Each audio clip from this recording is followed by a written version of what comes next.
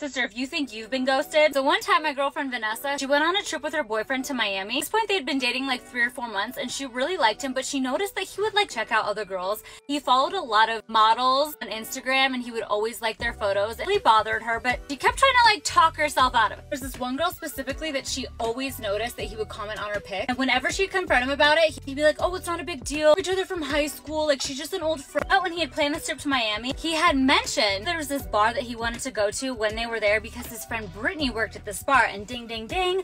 Vanessa was like, hmm, that's the name of the girl that he always commenting on her photos. Vanessa dropped it because she really liked this dude. You know how it is sometimes. So get this. So get to Miami. The first night that they're there, they go out. Clubs, bar, they're having a good time. Then next thing you know, they're at this bar. She turns around and her boyfriend's gone, like straight up gone. And she's like, oh my God, maybe went to the bathroom, whatever. She's looking for him. An hour goes by. She cannot find him. At this point, she's like panicking. So then she's like, wait, I have his location. Perfect. She looks at her phone Guess where his phone location is?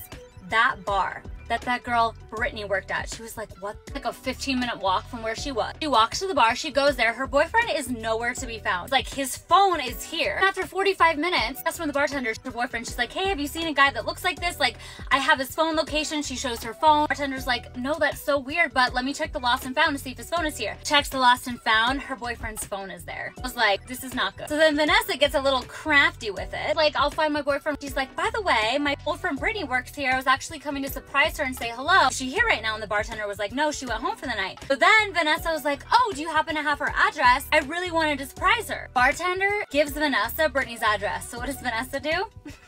what any girl would do. She has an Uber take her to Brittany's house. Vanessa was so nervous. She pulls up. She sees Brittany and her boyfriend in the kitchen through the window. She's like, screw it, I'm not even gonna confront him. I'm just gonna go back to the hotel. She gets back to the hotel, told the girl at the front desk, she's like, hey, listen, I just caught my boyfriend cheating on me. I'm gonna go back to our room. Can you please make me a new key card so that when my boyfriend gets here, he cannot get in our room? The girl at the front desk was like, girl, I got you, of course. At five in the morning, her boyfriend gets back to the room, he's banging on the door. She gets up, she goes to the little peek hole and she's like, what do you want? Through the door, he was like, oh my gosh, I had the craziest night. I got mugged.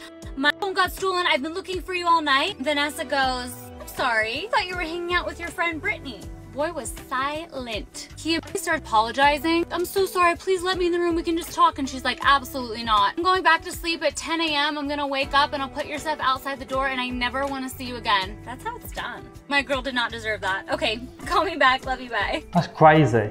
Just, why, why do people make so obvious if they can do something like that? And obviously, you know, he, he thought he had it all covered, you know, coming up with this really, really sob story that he got mugged when actually uh, she thrown it right back in his face with Brittany, and he obviously then doesn't know what's to say, he just he, he just admits to it all. No hope for people.